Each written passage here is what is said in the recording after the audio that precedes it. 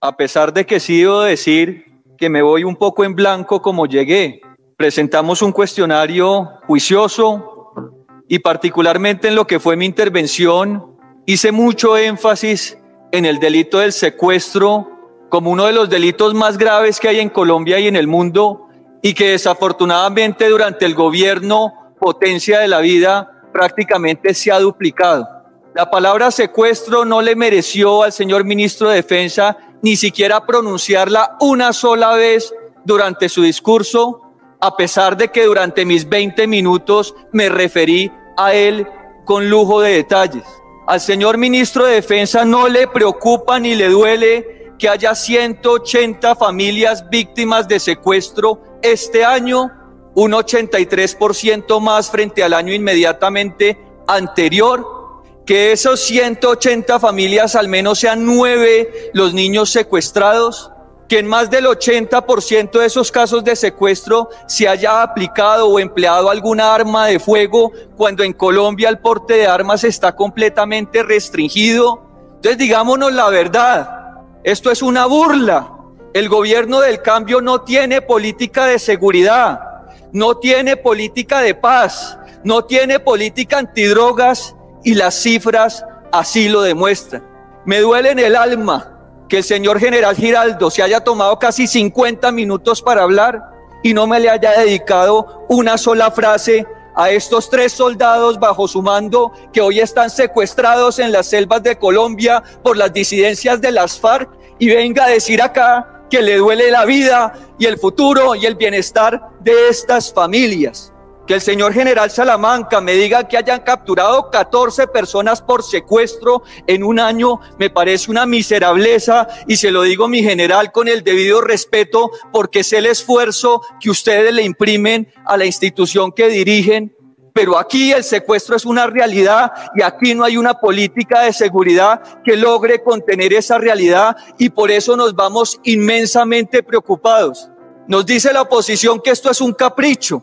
que citar una y otra vez al ministro de Defensa es un capricho de la oposición. ¿No han visto los videos de las carreteras de Colombia, los camioneros y transportadores siendo atacados por hordas de personas que no solamente los ultrajan, los roban, sino que también los asesinan? Es que las masacres en Colombia son un invento de la oposición y vienen aquí a decir descaradamente que como no son 66 como el año pasado, sino 63, tenemos que construirles un monumento y así que no sean descarados porque esta posición viene a pedir respuestas en nombre del pueblo colombiano que también representamos y hoy las respuestas no se dieron. Por, por favor, señor ministro de la Defensa, llame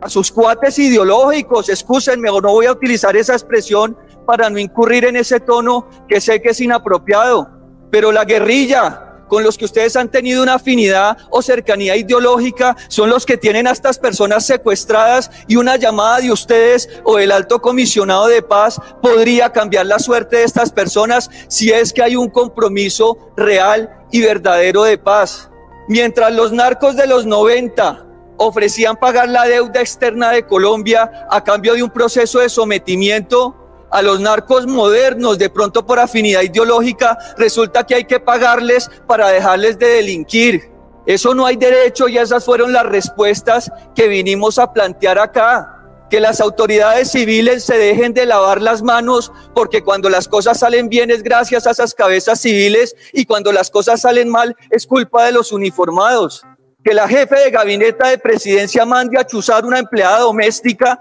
Ahora es responsabilidad de los patrulleros, intendentes y quienes intervinieron en ese procedimiento, porque hoy ya están cobijados con orden de captura y la jefe de gabinete está nombrada directora del DPS con 10 billones de presupuesto a su cargo. Eso es un descaro mayúsculo y no vamos a guardar silencio frente a esa realidad. Garanticen un proceso electoral limpio y le agradezco los avances que han presentado frente al plan democracia y ya veremos en qué termina este proceso electoral que se nos avecina. Que el señor ministro me dice que me dé por bien servido porque no son 300 mil hectáreas de coca, sino solamente para él 230 mil. ¿Lo tengo que aplaudir, señor ministro? Pues no lo voy a hacer y más bien dedíquese a erradicar verdaderamente que eso es un motor y es combustible de violencia en los territorios de Colombia, que como están dirigiendo la política antinarcóticos con mentalidad de mula del narcotráfico, Aquí estamos nadando en coca y por supuesto van a coger dos o tres barquitos más o dos o tres mulas más en los aeropuertos, pero es producto de ese mismo crecimiento exponencial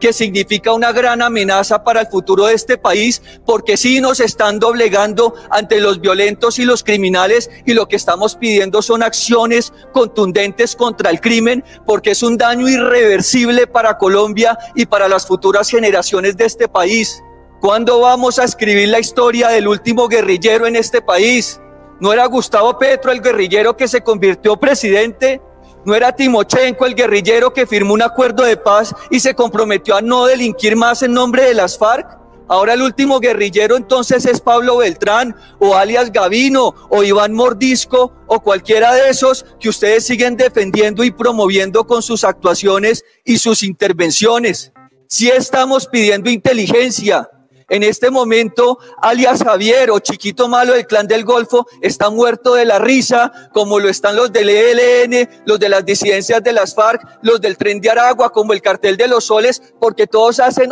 ochas y panochas con el pueblo y el territorio de Colombia, porque no hay una autoridad que los enfrente y los haga responder ante la ley, porque el Estado de Derecho es uno solo. Así que venimos a pedir inteligencia Aquí nos pueden llenar de gráficos y estadísticas porque el papel lo aguanta todo, pero la realidad y el sufrimiento del pueblo colombiano en estos tiempos de tempestad es una realidad y pido respeto por esos millones de colombianos que quieren una respuesta de parte de sus autoridades. Gracias, presidente.